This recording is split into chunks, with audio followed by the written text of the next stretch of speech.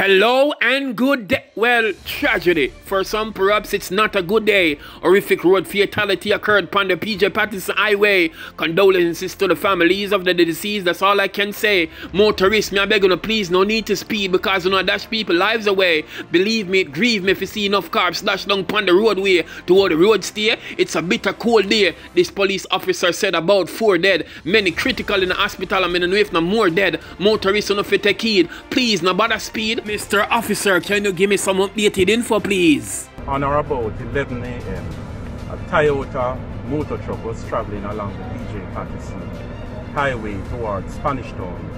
When on reaching about 800 meters east of the exit to Spanish Town, it is apparent that the driver encountered some difficulties with the vehicle traveling at high speed.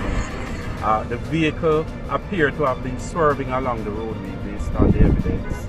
Uh, it collided in the rear of a medium truck and then it overturned. It appears that it overturned a couple of times and then it came to rest with the front on the median. As a result of that, several persons were injured. Uh, we are able to confirm that four persons have died. Uh, there are a number of persons that have been taken to the Spanish Town Hospital and um, we have heard that a few of them are critical. Brother, I'm not even going to go closer. Whoa, whoa, whoa. John Star. Motorists, as I said before, me I beg you, please, no need for speed. Not dash people life away because all them people the family feel right now, them are gonna get a sad news, a bad news. Oh, John Star.